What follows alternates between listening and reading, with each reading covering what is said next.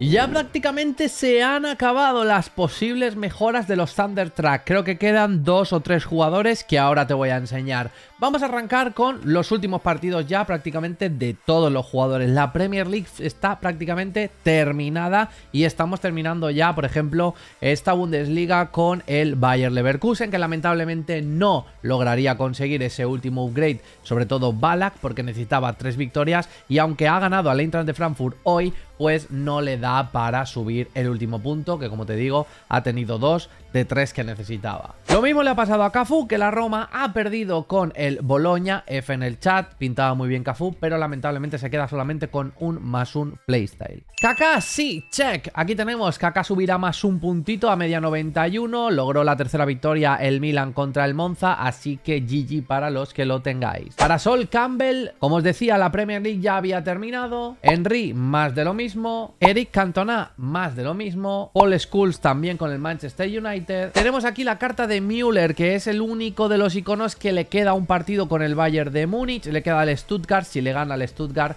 subiría más uno. Que ojito, el Stuttgart va muy bien en liga y lo tiene complicado. Para Cruyff, más de lo mismo. Logró subir todo. Van der Sar con el Ajax también. Check. Pires en League One también consiguió las tres victorias la semana pasada. Y esta semana el Madrid consiguió su tercera contra el Villarreal que ganó 4-1. Casilla subirá, Puskas subirá, Xavi Alonso subirá, como estáis viendo, un más uno todos. El Barça lamentablemente no logró su victoria, aunque daba igual porque necesitaba 3, así que Ronaldinho F, Figo también F. Iniesta consigue como KK la subida, así que subirá más uno y cuidado con los números que se le queda al italiano. Y por último Premier League Douglas con los iconos ya estaría check. Ahora pasamos a las cartas Thunder normales, lamentablemente de Jong no consiguió ni siquiera las dos victorias para poder subir dos playstyles, así que simplemente De Jong GSBC se quedó con un más uno. Y ojo, os lo dije, os dije que tenía un calendario complicado. Yo lo siento mucho, pero tenéis que admitir que fui el único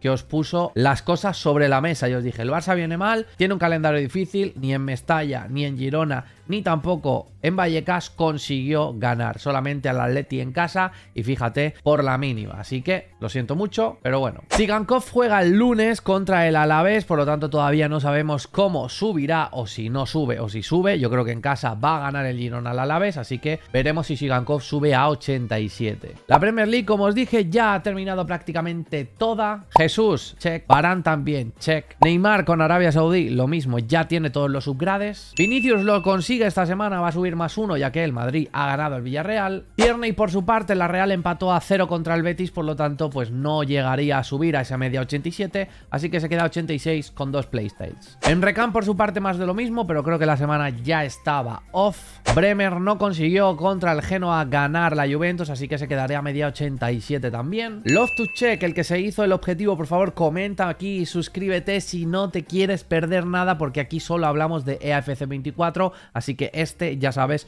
tu canal de confianza. Ojito con Cuadrado que consiguió ganar a la Lazio el Inter, por lo tanto subiría esta semana más uno. Klosterman por su parte también logró la victoria, así que esta semanita más uno. Lukaku por su parte lamentablemente no ganó al Boloña, perdió 2-0, así que se queda como está. A Davis, como ya os he dicho con el Bayern de Múnich, le queda un último partido. Si gana, sube. La Premier League off con este Joelinton. Depay perdió y por lo tanto no logrará esta semana, bueno, ni esta ni nunca ya, subir ningún punto más. Correia del Valencia consiguió 0 de 4 victorias que necesitaba, así que F. Ansu Fati Premier League ya está check al igual que Gómez. Fekir esta semana, como ya os he dicho, con y empató contra la Real, así que se queda 87. Frimpong más de lo mismo, como Balak, este caso sí que ha subido dos subgrades porque necesitaba simplemente dos victorias, pero la tercera no lo logra. Kang Lee ya completó. Umtiti esta semana empató contra el PSG, así que se queda 86, no logra subir. Y el fútbol femenino tenemos cartas como Hem que ya subió, Little que ya subió, Diani que también subió la semana pasada y Katoto que logra conseguir por fin la victoria, así que nos quedamos sin saber si realmente eran cuatro o tres partidos, porque ya no queda ningún jugador más, bueno, ninguna jugadora más para poder comprobar si, eh, pues eso, ponía bien sus partidos en consola, que ponía que eran 2 de 4. Y por último el Cuti Romero, que lo tenía por aquí apartadito, ya está eh, blog, solo va a subir 88 que subió la semana pasada, así que las cartas se quedan así. Solo nos quedan pendientes las cartas del Bayern de Múnich, el próximo partido contra el Stuttgart si gana sube, si empata o pierde se quedarían así las cartas como están. Así que